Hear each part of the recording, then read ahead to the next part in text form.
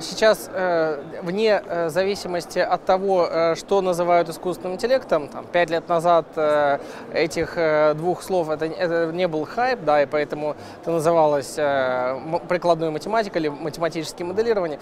А важно то, что это системы, которые воспроизводят некоторые когнитивные способности, сейчас все-таки отдельные, в решении тех или иных рутинных задач. То есть понятно, что мы упрощаем себе жизнь, и данные помогают понять, э, мы себя ведем на самом деле, потому что э, все задачи прикладного искусственного интеллекта, они так или иначе основаны на аналитике э, достаточно больших э, и зачастую не структурированных массивов данных, а э, направлены на выявление неких, некоторых закономерностей, как правило, полезных для того, чтобы помогать нам понять, что нам нужно в конкретный момент времени, какую потребность закрыть э, клиенту актуально, для того, чтобы не предлагать э, а, ему нерелевантные советы, продукты, сервисы а, или в неправильных каналах, как это часто бывает. Ну, например, мы видим сейчас, что а, молодежный сегмент гораздо реже читает э, простые текстовые сообщения, то есть смс, чем сообщения в мессенджерах. Поэтому иногда надо подумать вообще, нужно ли определенной целевой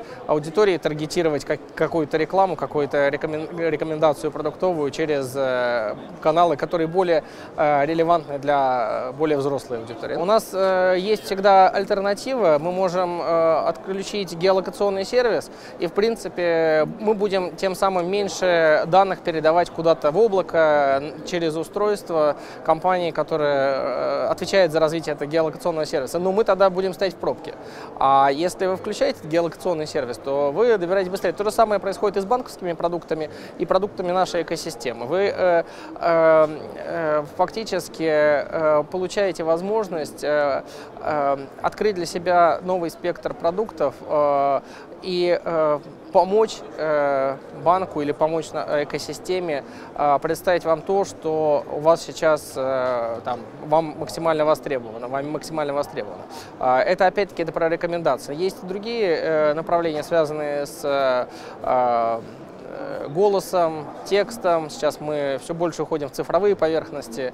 И э, темы, если посмотреть, на самом деле, которые обсуждают здесь, они так или иначе связаны с э, вот этими самыми прикладными задачами в, в задачах рекомендаций, в задачах кредитного скоринга, э, поведения потребителей э, с точки зрения э, продаж, э, э, взаимодействия внутри экосистемы.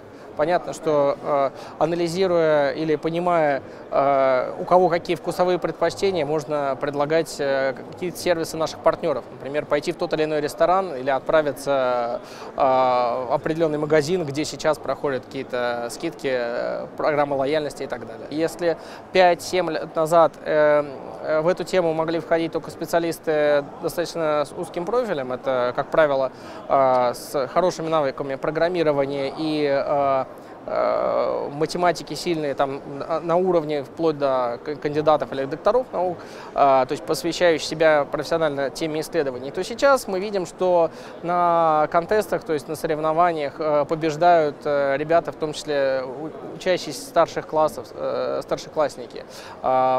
И соревнуясь на одном уровне с профессиональными исследователями данных, которые имеют зачастую десятилетний опыт работы в индустрии и за плечами не, Э, ученые степени, академический опыт и так далее. К сожалению, мы достаточно далеко отстаем от э, э, стран-лидеров по некоторым направлениям, но у нас есть э, э, очень большой потенциал, у нас есть мозги, у нас есть э, мотивации, и как кажется, что сейчас э, важно э, вовлечь в это правильную аудиторию, может быть, поменять где-то подходы к э, образованию, потому что мы видим, что те навыки, которые были востребованы еще 5 или 10 лет назад у молодых специалистов, они немножко смещаются в сторону э, владения, допустим, э, пакетов или, как их называют, фреймворков по машинному обучению, э, э, использование программного обеспечения с открытым исходным кодом, облачная инфраструктура. И вот э, для работы со всем этим, конечно же, нужны э, специалисты определенных специальностей.